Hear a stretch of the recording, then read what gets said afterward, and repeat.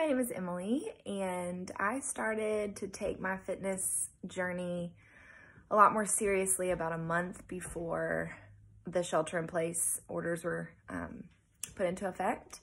And I'm so glad that I did because my relationship with Noble Clay has really impacted my time in quarantine. Um, having being able to have something that I can look forward to every day, um, having the connection with my coach, and um, yeah, just that consistency has really brought value and encouragement to this really challenging um, time emotionally and mentally. So to have that outlet has just really been a blessing to me.